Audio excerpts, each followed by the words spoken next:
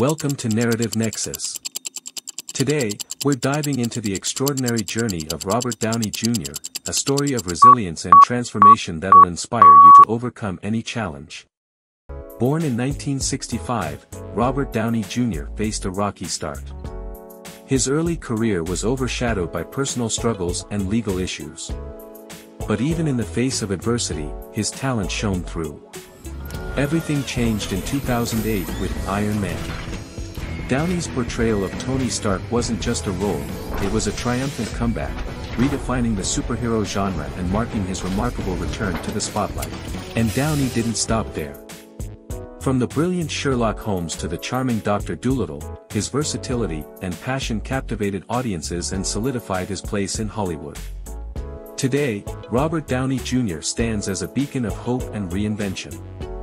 His story teaches us that no matter how challenging the path, with determination and perseverance, you can always rise to greatness. For more incredible stories of transformation and triumph, hit that like button, subscribe to Narrative Nexus, and ring the bell for notification.